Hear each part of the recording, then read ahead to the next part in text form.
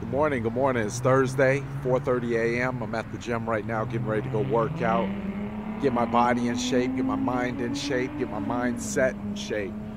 Yesterday, I was driving down the road, and don't ask me why. For some unknown crazy reason, I decided to ask myself a question like, Germaine, why haven't you been pulled over in a while? I'll cut straight to the chase. Later on that afternoon, a couple things had happened, none of which I was happy with all of which I can take some responsibility for given what was going on up there. I get pulled over.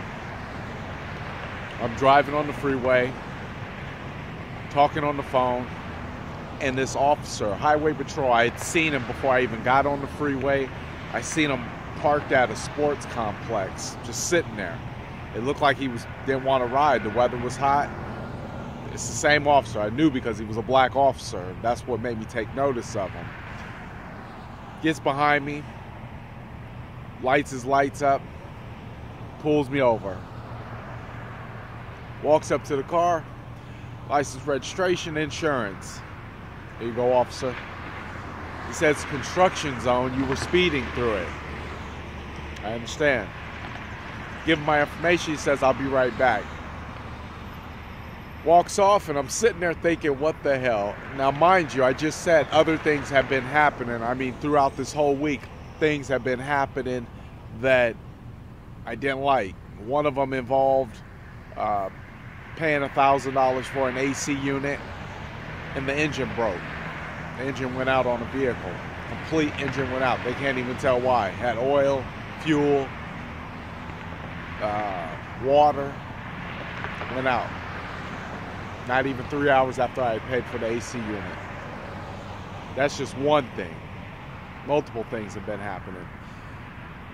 Anyways, the officer goes back, comes back up, writes me a ticket, hands it to me, and says, I didn't get you for the speeding, but I did get you for no seatbelt.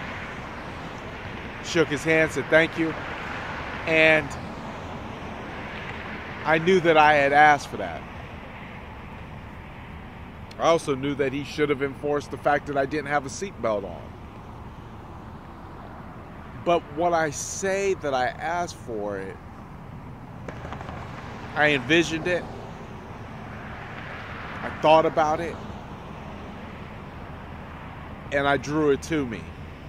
I was listening to something this morning, a, a guy by the name of Dwayne Dwyer. I think that's his name. I, I, I'm not too familiar with him. I do know he is a holistic individual. And he says that whatever you think about most is what the universe draws nearer to you. You think about scarcity, lack, you get more of it. Whatever you think about, you get more of. And I'm dead serious. I thought about that cop earlier in the day and I wasn't speeding intentionally because I wasn't trying to make that come true.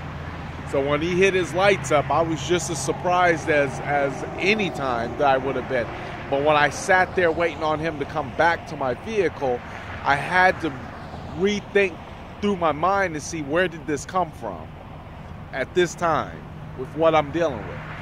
And I knew that I had brought it into fruition by how I was thinking and it was confirmed this morning by what I was listening to.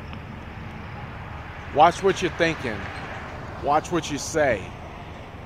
If it's not what you want, stay away. Stay blessed. Go exercise.